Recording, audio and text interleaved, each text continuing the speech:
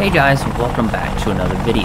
Today we're going to be looking at using the AGM-114 Hellfire with George AI and the DCS AH-64D Apache. Let's get started.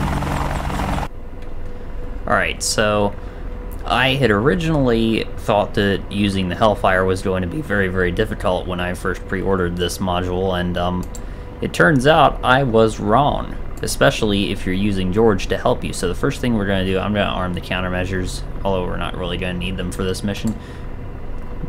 Ground override and master arm on. So now what we're going to do is use the George AI helper switch, which you will need to have bound to, I would say, probably a hat switch of some sort on your joystick and what I'm going to do first is press the George AI Helper menu show or hide keybind and we can see that appears now in the bottom right hand corner of the screen.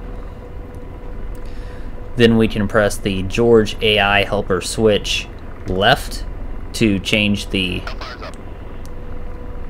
weapon that George is using. So now we have it set to Hellfire. We have 16 Hellfires on board. I'm not even going to try to look around there. So let's go ahead and take off. Now that our weapons are armed, that's really all we have to do right now.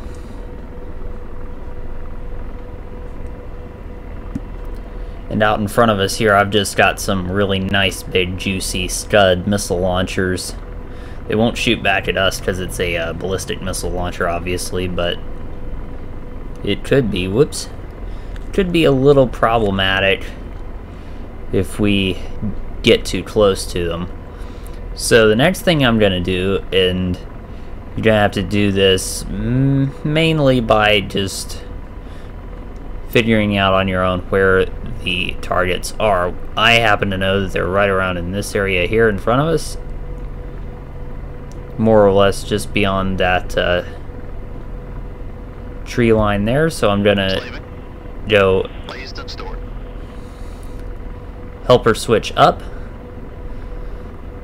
and that slaves the TADS to wherever you were looking when you push that switch up. So apparently we now have a uh, Hellfire ready to go and George has lazed and stored a target for us. So I'm going to get rid of my uh, my trigger safety and I'm going to WAS the Hellfires. Let's see, actually I can't do that. So the way this typically works is you just press F to give George the authority to fire. Engaging. And there it goes. Just like that. That's how simple it is.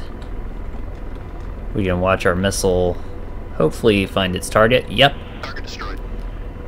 And then we can also hold down helper switch down long and it will show us a list of the available targets for us to attack in that same general area.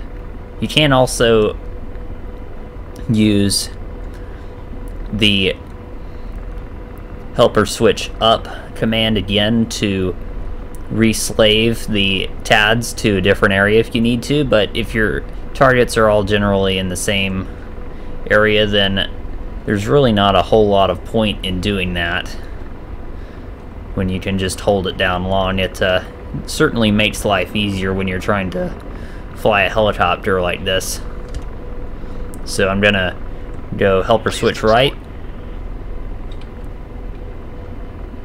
make sure our uh, box here is solid and press F. Bang!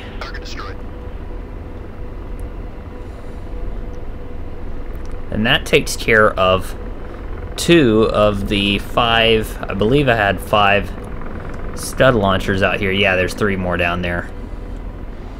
So that is how to use the Hellfire in conjunction with George AI in the AH-64D Apache. So I hope you've enjoyed this short little tutorial, and I will see you in the next video. Thanks for watching.